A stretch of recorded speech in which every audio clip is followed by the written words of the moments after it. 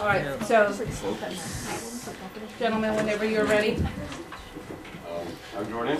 I'm Gavin. This is our further oral activity presentation. Okay. Uh, our learning goal today is the use of persuasive language through the use of advertising and persuasive appeals. Politicians use advertisement and persuasive language to influence voters and citizens to support them in their cause slash leadership. They do this by using words that sound good, but really are meaningless without a plan, which most politicians do not acknowledge. Orwell predicted the use of persuasive language by politicians and leaders to obtain their goals and gather support, as shown in his essay, Politics and the English Language.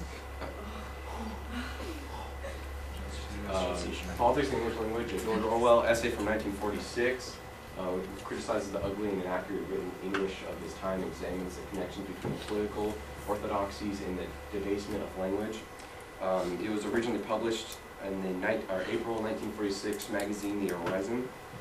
Um, and our quote pretty much about it is to make lies sound truthful and murder respectable, and to give an appearance of solidity and pure will. And then what he meant by that is that Orwell was saying that if language is not necessarily straightforward, then it is vague. Okay. Uh, learning outcome is students will show an awareness of the potential for educational, political, or ideological influence of media, so campaigns or propaganda. Student will show the way mass media use language and image to inform, persuade, or entertain. Deliberate manipulation of the audience is an example of that. These are two Wendy Greuel advertisements. Millions of dollars worth of city gas missing. $4.8 million on free cell phones for city employees. Okay, okay.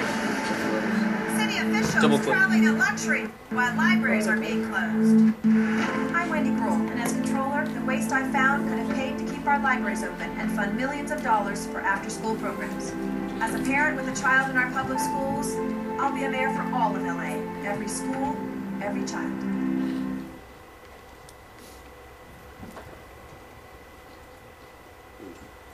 Okay, Don't, don't do the second, don't do the second one. So, uh, so the first one, uh, Wendy was not wrong with all the things that was missing. She actually was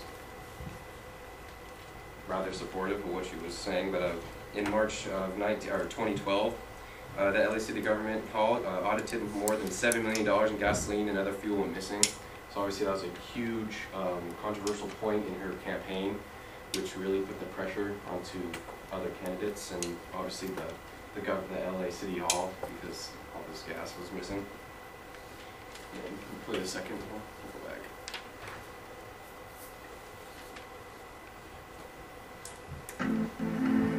Every part of LA deserves a better city government. I'm Wendy Greuel, and as city controller, I found $160 million in waste and fraud. Your tax dollars squandered. As mayor, I can stop the waste because I know where it is. And I'll use the savings for job creation, better schools, and faster emergency response in every part of our city. We need a mayor for all of LA, so no one is left behind and no one is forgotten.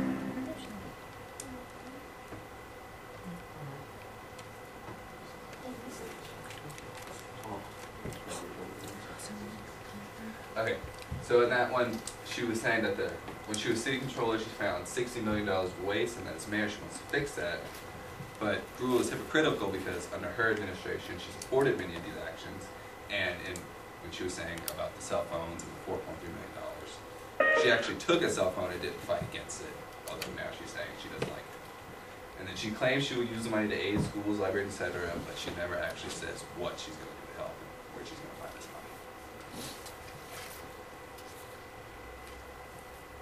And here's a video that's criticizing Wendy Greuel and her administration.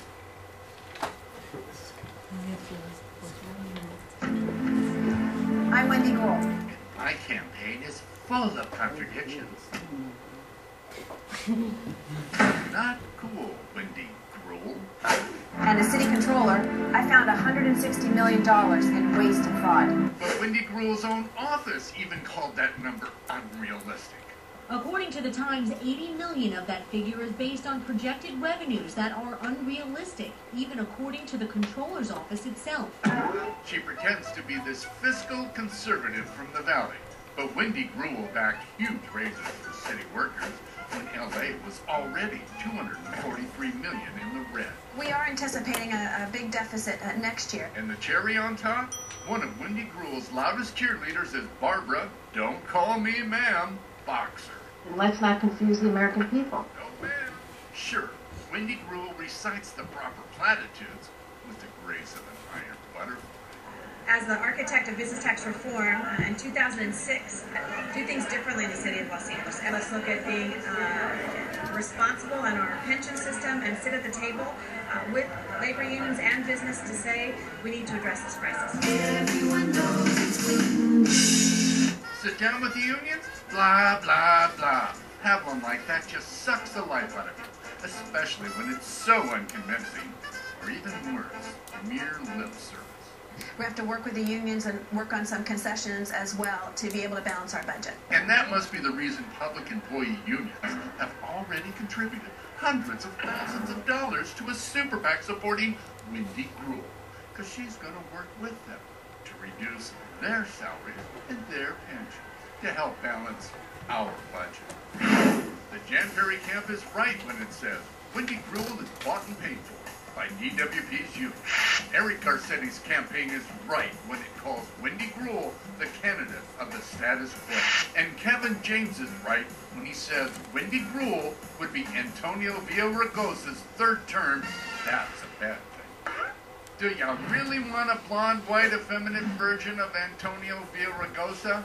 This is a guy known for partying in Mexico with Charlie Sheen, cheating on his wife with a Telemundo anchor, and making an ass out of himself at the Democrats' National Convention. In the opinion of the. Let me do that again. You're a fool if you vote for Wendy Greuel. Don't do it. Don't do it. I, um. I guess. Be cruel to Greuel on March 5th.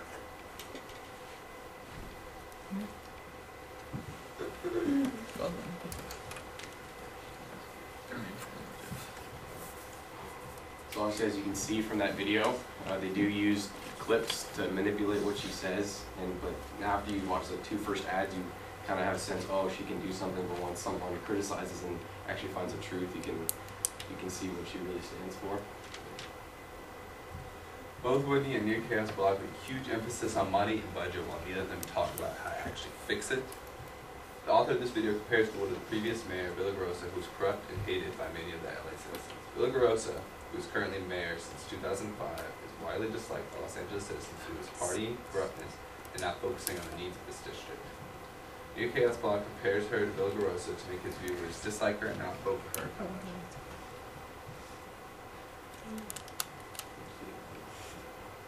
So in conclusions, uh, politicians in persuasive language uh, use uh, persuasive language to make their ideas and plans sound better and to make their uh, opponents look worse.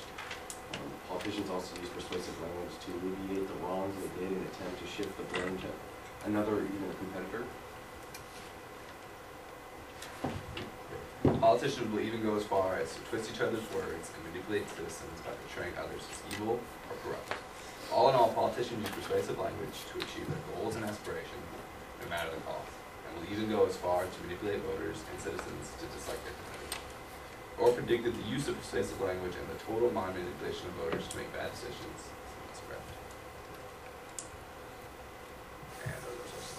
All right.